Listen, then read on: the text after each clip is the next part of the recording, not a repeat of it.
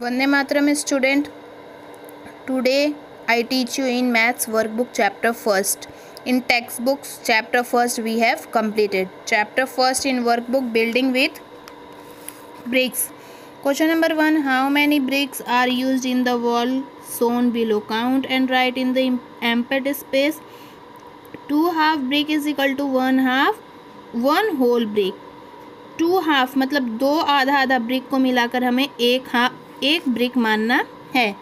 देखो, यहाँ पे हमें एक पिक्चर्स में दिया है ब्रिक्स मैंने काउंटिंग की हुई है। की हुई है? One two three four five six seven eight nineteen eleven twelve thirteen fourteen fifteen sixteen seventeen eighteen nineteen twenty twenty one twenty two twenty three twenty four twenty five twenty six twenty seven मैंने ये पूरा twenty seven count किया, लेकिन पूरा एक एक brick half brick अभी हमारा बाकी है।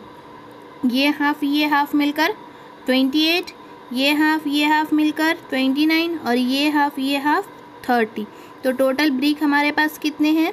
Thirty question number two fill in the empty space in the wall given below यहाँ पे कुछ नंबर्स दिए हुए हैं, बाकी के हमें फिल करने हैं. Twenty two hundred fifty six two hundred fifty seven two hundred fifty eight two hundred fifty nine two hundred sixty two hundred sixty one sixty two hundred sixty two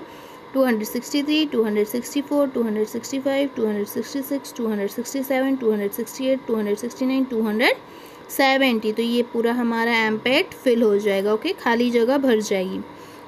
Answer the following question based on the figure of a brick given below question number three में हमें यहाँ पे pictures दिए है और कुछ question पूछे हमें उसे फिल करना है। Question number one how does the shape look from side A first of all ये पिक्चर पूरा रेक्टेंगल हमारा ब्रिक ईट जो होता है वो रेक्टेंगल शेप में होता है तो सारे साइड हमें रेक्टेंगल शेप में ही मिलेंगे। रेक्टेंगल मतलब ये दोनों ये दोनों सेम होना चाहिए और ये दोनों ये दोनों सेम होना चाहिए। Question number one how does the shape look from side A side A से हमारा कौन सा सेप दिख रहा है? Rectangle how does the shape look from side B B से कैसा दिख रहा है? रेक्टेंगल सारा सेप रेक्टेंगल सेप में होता है। How does the shape look from side C rectangle how many side are there total कितने साइड होते हैं रेक्टेंगल में? फेस मतलब देखो, मैंने एक पिक्चर्स भी ड्रॉ किया है। ये आगे का पोर्शन पीछे का। टू हो गया। इस इस साइड से, ये साइड से। Two two one two three four five और सिक्स। कितने फेस हुए? कितने साइड्स निकले total six how many edges are there total edge कितने होते? हैं ट्वेल्व होते। एज हमें इसे काउंट करना रहता है। One two three four five six seven eight nine ten eleven twelve total कितने लाइनिंग थे? एजेस में twelve how many corner are there total कितने कॉर्नर होते? हैं one two three four five और सिक्स, सेवन और एट। टोटल कितने corner हुए eight. Question number seven what is the name of the whole shape पूरे shape का क्या नाम होता है? क्यूबाइड इस शेप को हमें क्या बोलते हैं?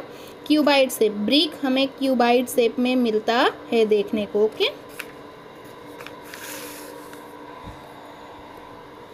question number four how many side are seen in the figure given below write in the blanks. हमें यहाँ पे पिक्चर्स दिए, कितने साइड देखने को मिल रहे, हमें राइट करने हैं। इसमें कितने देखने को मिल रहे वन टू और थ्री थ्री इसमें कितने देखने को मिल रहे वन और टू इसमें वन इसमें वन और टू कितने हो गए two question number five which of the following shape are the face of a brick tick और दैम हमें इसमें इतने सारे पिक्चर में से जो भी पिक्चर्स ब्रिक का फेस दिख रहा है, हमें उसमें टिक करना है।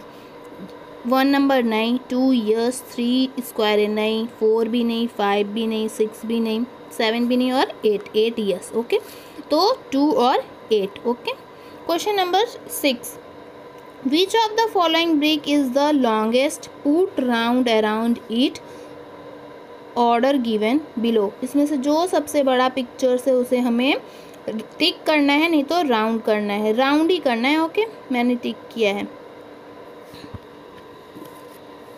Question number eight three centimetre B eight centimetre C two centimetre D four centimetre तो सबसे बड़ा कौन सा हो रहा है? लॉन्गेस्ट ब्रेक बी नंबर तो हमें इसे क्या करना है? सर्कल कर देना है ओके लाइक दिस